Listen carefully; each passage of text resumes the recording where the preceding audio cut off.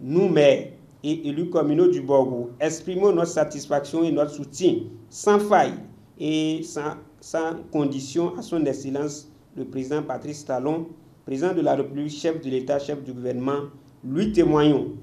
Notre reconnaissance pour toutes ces actions et particulièrement pour les réalisations socio-économiques dont entre autres les maires et leurs adjoints du département du Borgou face à la presse à Parakou.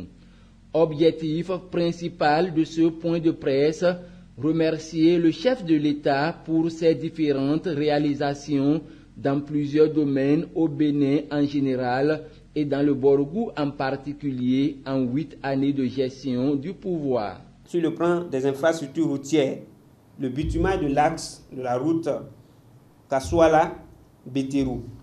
Le bitumage de la route Kessou Sud Sinandé. Le bitumage de la route Ndali Niki Chikandou.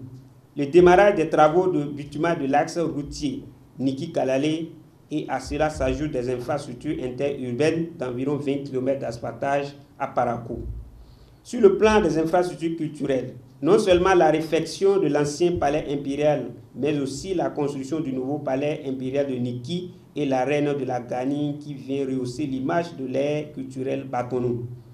Sur le plan de l'approvisionnement en eau potable aux populations, la construction de plusieurs SAEP, systèmes d'approvisionnement en eau potable, ainsi que la densification et le renforcement du réseau d'eau potable en cours sur près de 610 km l'implémentation de la nouvelle politique de santé communautaire, la mise en œuvre du projet Azoli d'insertion et d'inclusion des jeunes, la lutte contre la pauvreté à travers les microcrédits dont les montants et le nombre des bénéficiaires s'accroît considérablement et aussi le projet H. La mécanisation de l'agriculture, moteur de l'économie locale du Borgou. Les maires du Borgou rappellent par ailleurs au chef de l'État certains projets phares pour ce département. Exprimons notre satisfaction et saluons ces actions louables de son Excellence, Monsieur le Président de la République, et que nous exhortons à braver tous les obstacles pour ne pas s'arrêter en si beau chemin.